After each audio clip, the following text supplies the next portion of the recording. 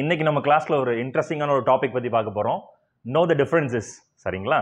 So ஒரு couple of sentences ஒரு மூணு இருக்குது ஸோ ஃபர்ஸ்ட் சென்டென்ஸ் என்னன்னு பார்த்தீங்கன்னா how do you do how are you இது ரெண்டுக்கும் என்ன டிஃப்ரென்ஸ் எங்கே யூஸ் பண்ணோம் அப்படின்னு.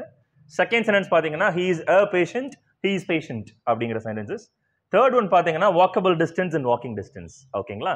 ஸோ இதோட டிஃப்ரென்ஸ் என்ன ரைட் ஆர் ராங் எங்கே யூஸ் பண்ணணும் அப்படிங்கிறத நம்ம இன்னைக்கு கிளாஸில் பார்க்க போகிறோம் ஸோ ஃபர்ஸ்ட் ஒன் பார்ப்போம். ஹவு டு யூ டூ அப்படிங்கிற வேர்ட் இருக்குது பார்த்தீங்களா so you use the how do you do அப்படின்றத when you speak with a person at the first time when you meet a person at the first time so ஒருத்தரை நீங்கள் first time பார்க்குறீங்க பார்த்தீங்களா அப்போ தான் நீங்கள் ஹவு டு யூ டூ அப்படிங்கிறத use பண்ணுங்க. ஸோ ஃபஸ்ட் மீட் ஒருத்தரை ஃபஸ்ட் ஃபர்ஸ்ட்டாக மீட் பண்ணுறீங்க அவர்கிட்ட பேச ஆரம்பிக்கிறீங்க அப்போ ஹாய் ஹவு டு டூ அப்படின்னு நீங்கள் ஸ்டார்ட் பண்ணலாம். ஓகேங்களா ஹவ் are யூ அப்படின்றது பார்த்தீங்கன்னா it is general one so நீங்கள் ஒருத்தர் அடிக்கடி சந்திக்கிறீங்க டெய்லியும் சந்திக்கிறீங்க வீக்லி ஒன் சந்திக்கிறீங்க அப்பப்போ பார்த்துக்கிறீங்க. அப்போ எப்படி இருக்கீங்க அப்படின்னு கேட்கறதுக்கு சிம்பிளி ஹவ் are யூ அப்படின்னு சொல்லிக்கலாம். Okay often we meet okay fine so how do do how are you அப்படின்றதுக்கான டிஃப்ரென்சஸ் தெரிஞ்சிட்டீங்க. செகண்ட் சென்டென்ஸ் பார்த்தீங்கன்னா he is a patient he is patient ஓகேங்களா இந்த வேர்ட் கேள்விப்பட்டிருப்பீங்க பேஷண்ட் அப்படின்றது. நமக்கு நோயாளி அப்படின்ற வரைக்கும் தான் தெரியும். ஹீ இஸ் அ பேஷண்ட் அப்படின்னா என்னன்னு கேட்டிங்கன்னா அவர் ஒரு நோயாளி அப்படின்னு அர்த்தம்.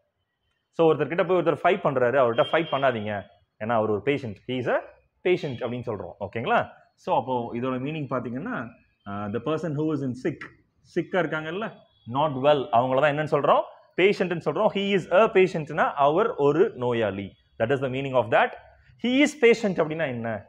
இந்த அ மட்டும்தான் சார் இல்லை. ஸோ அவர் நோயாளி அப்படின்னு வருமா அப்படின்னு கேட்டால் not like that so he is a பேஷண்ட்னா அவர் ஒரு நோயாளி.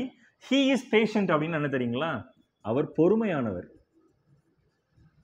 ஸோ பேஷன்ஸ் அப்படின்னா பொறுமைன்னு ஒரு மீனிங் இருக்குங்க. ஸோ ஹீ இஸ் பேஷண்ட் அப்படின்னு சொல்லும்போது அதோட மீனிங் என்ன? அவர் பொறுமையானவர் அப்படின்னு அர்த்தம். ஓகே குட் தேர்ட் சென்டென்ஸ் பார்க்கலாம்.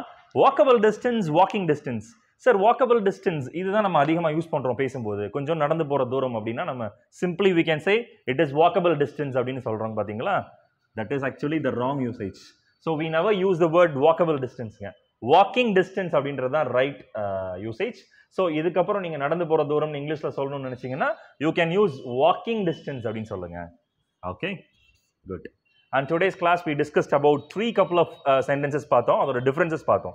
Once again I repeat you how do do அப்படின்றது when you meet a person at the first time நம்ம யூஸ் பண்ணுங்க. ஹவ யூ அப்படின்றது நம்ம அடிக்கடி சந்திக்கிற ஒருத்தவங்களை பார்த்து எப்படி இருக்கீங்கன்னு கேட்கறதுக்கு we use the word how are you he is a patient அவர் ஒரு நோயாளி. ஹீ இஸ் பேஷண்ட் அவர் பொறுமையானவர். See the difference walkable distance and walking distance so walkable டிஸ்டன்ஸ்ன்றது not right usage walking distance தான் ரைட் யூசேஜ் ஓகே இதே மாதிரி ஒரு யூஸ்ஃபுல்லான ஒரு டிப்ஸோட நெக்ஸ்ட் கிளாஸ் மீட் பண்ணலாம். Thank you